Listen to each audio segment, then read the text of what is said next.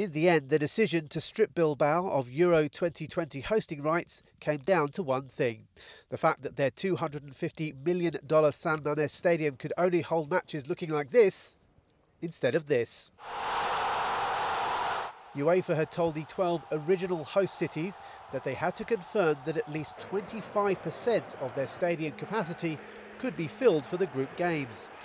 That was a promise Bilbao could not keep due to the coronavirus restrictions currently in force in the Basque region. It was due to host four games, including all of Spain's group matches. They will now be played in Sevilla. La verdad es que para Bilbao ha sido una decepción muy grande el no ser sede finalmente de la Eurocopa porque había muchas ilusiones puestas, era un sueño convertido en realidad por el que las instituciones vascas han estado eh, bueno, pues, eh, peleando y trabajando ¿no? desde 2014, que es cuando se firmó el contrato con la UEFA, y es una gran decepción para Bilbao, para Vizcaya y para todo Euskadi que finalmente San Mamés no sea una de las sedes de la Eurocopa.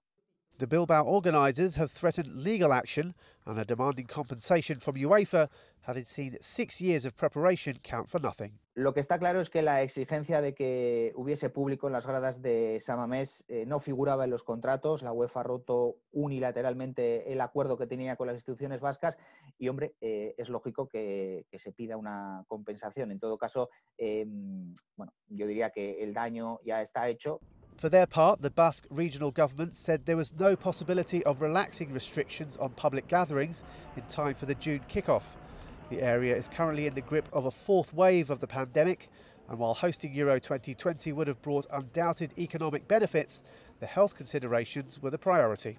Bilbao was joined by Dublin, another city that was dropped as a host, losing its three matches and leaving Euro 2020 with 10 venues for the month long event. Well, it's certainly been a tumultuous week for UEFA. Firstly, they saw the challenge of the breakaway European Super League, although Barcelona and Real Madrid insist that the project is not dead. They then flexed their muscles by dropping Bilbao and Dublin as Euro 2020 hosts, insisting that having fans in the stadium was non-negotiable. But it remains to be seen whether those fans will want to travel to the 10 remaining host cities this summer, with the pandemic in Europe showing no signs of abating. Rahul Pathak, CGTN, Madrid.